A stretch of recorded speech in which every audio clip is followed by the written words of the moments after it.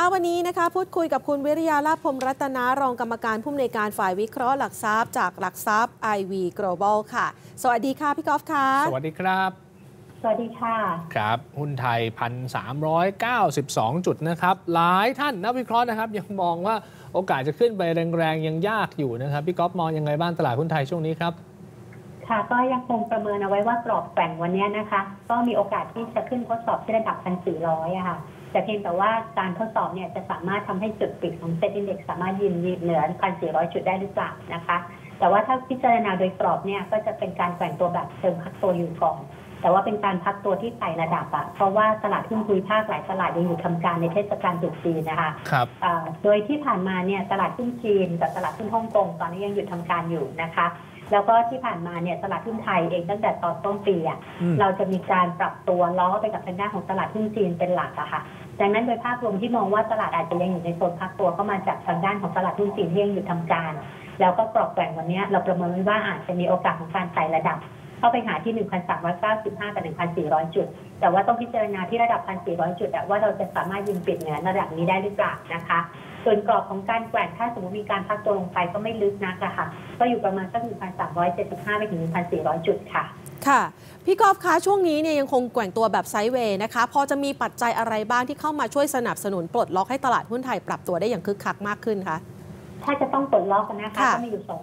สองสามเรื่องอะเอาเรื่องแรกก่อนก็คือเป็นตลาดภูมิภาคก่อนนะคะ ตลาดภูมิภาคเองเนี่ยเราล้อไปกับตลาดหุ้นจีนมาค่อนข้างเอ่อหลายเดือนแล้วนะคะภายใต้ตลาดหุ้นจีนเนี่ยก็อาจจะมีประเด็นเอ่อเฉพาะเกี่ยวกับเรื่องของการที่ควบคุมเรื่องของการ trading นะคะครับโดยเฉพาะเกี่ยวกับเรื่องของ short sell นะคะ อันนี้ถ้าสมมติตลาดหุ้นจีนเศรษฐกิจถ้าเกิดว่าเขามีโอกาสต่อการฟื้นตัวหรือมีมาตรการกระตุ้นเศรษฐกิจ อันนี้ก็จะมีผลกับทางด้านของตลาดหุ้นไทยเป็นไปเชิงบวกค่ะอืมส่วนอีกอันหนึ่งคือถ้าสมมติว่าเป็นข้อมูลในบ้านเราเนี่ยจะมีอยู่สองเรื่อง เรื่องแรกก็จะเป็นเกี่ยวกับเรื่องของดิจิ t a ลวอลเล็ตนะคะ ซึ่งในวันเนี้ยประชุมคอรมอเองเนี่ยตามข่าวของเมื่อวานเขาบอกว่า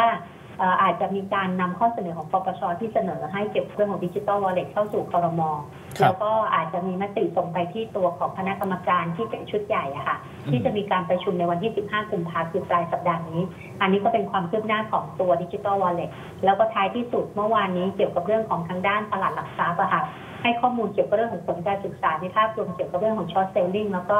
program trading นะคะถ้าอันนี้เนี่ยสามารถสร้างความเชื่อมั่นต่อตลาดได้เพิ่มเติมมากขึ้นนะอันนี้จะเป็นเอ่อเขาเรียกว่า sentiment เชิงบวกสำหรับทางด้านของการ trading สำหรับตลาดหุ้นไทยด้วยค่ะ ครับ เท่าที่ฟังแล้วพอจะสร้างความเชื่อมั่นได้ไหมครับ ในส่วนของเรื่องของ program tradingก็เมื่อวานนี้ดูเหมือนออกไปเป็นในทำนองแบบเอ่อผลการศึกษา แล้วก็มีข้อเสนอแนะสี่ด้านนะคะ ไม่ว่าจะครัเป็บนเรื่องของการควบคุมการรายงาน การติดตามการบังคับใช้กฎเกณฑ์แล้วก็เรื่องของการเอ่อแบ่งความรับผิดชอบนะคะ มันก็ต้องอยู่ที่ว่าทางด้านของตลาดหลักทรัพย์เนี่ยเขาจะมีเพิ่มกลไกเป็นการทำธุรกรรม program trading แล้วก็ short selling ยังไง ที่สร้างความเชื่อมั่นเพิ่มเติมอะค่ะ อืมค่ะ อะก็เป็นประเด็นหนึ่งที่นักลงทุนรายย่อยค่อนข้างกังวลใจในช่วงที่ผ่านมานะคะ ทีนี้เรามาดูต่อค่ะพี่กอล์ฟคะในช่วงจังหวะแบบนี้เนี่ยที่เรารอหลายปัจจัยให้มันมีการผลักดันตลาดหุ้นไทยให้ไปต่อได้ เราแนะนำการลงทุนกับนักลงทุนยังไงบ้างอะคะ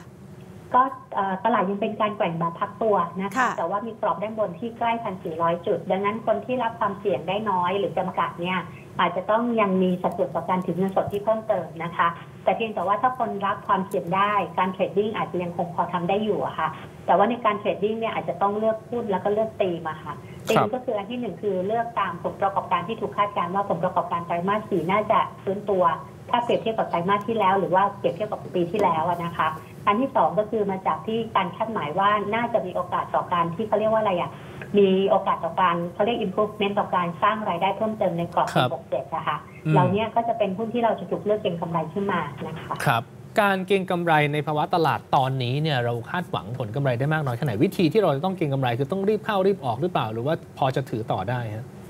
คือต้องต้องยอมรับอย่างหนึงว่าตลาดมันเคลื่อนไหวค่อนข้างจำกัดดังนั้นหุ้นรายตัวที่จะเกิดการเก็งกำไรก็จะเคลื่อนเคลื่อนไหวค่อนข้างจำกัดด้วยเช่นเดียวกันดังนั้นเราครับจะไปหวังกรอบกำไร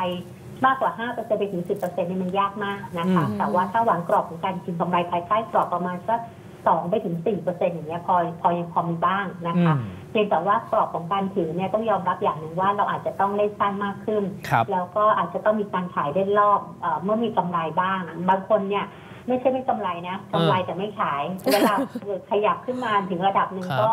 เอ่อมันก็ติดอะค่ะดังนั้นค่ะเอ่อเมื่อกำไรต้องขายหรือแม้กระทั่งถ้าเราผิดจังหวะ อันนี้ก็ต้องมีการสต็อปการเก็งกำไรด้วยเช่นเดียวกันนะคะค่ะ บางครั้งมันมีจังหวะนะคะอยากจะได้กำไรมากกว่านี้ แต่ตลาดไม่เอื้ออำนวยนะคะ ช่วงนี้เนี่ยเราแนะนำตัวท็อปพิกยังไงบ้างคะพี่กอล์ฟ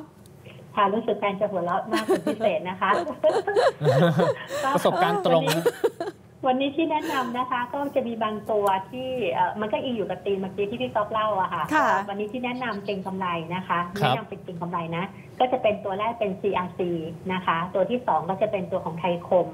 ซึ่งตัวไทยคมกับ CRC เนี่ยเราเลือกเป็นสต็อกพิกในรอบสัปดาห์ด้วยนะคะ ครับ แล้วก็จะมีตัวของ TGE แล้วก็ตัวของ GIF ซึ่งสองตัวหลังเนี่ยอาจจะเป็นตัวขนาดเล็กหน่อย แล้วก็อาจจะไม่ใช่เป็นตัวของตลาดโดยภาพรวมอะค่ะดังนั้นคนที่จะเก็งกำไรต้องเลือกให้เหมาะกับตัวเองด้วยนะคะ โอเคได้เลยครับ วันนี้ขอบคุณพี่กอฟนะครับ ขอบพระคุณค่ะค่ะ สวัสดีค่ะ สวัสดีค่ะ สวัสดีครับเป็นคำแนะนำจากคุณวิทยานะครับ ยังค่ะเป็นตลาดที่พอจะเก็งกำไรได้ แต่การคาดหวังผลตอบแทนเยอะๆนะครับณตอนนี้เนี่ยอาจจะยากอยู่เพราะว่าพอขึ้นไปแถวพันสี่จุดก็อาจจะเป็นแนวต้านใหญ่พอสมควรเหมือนกัน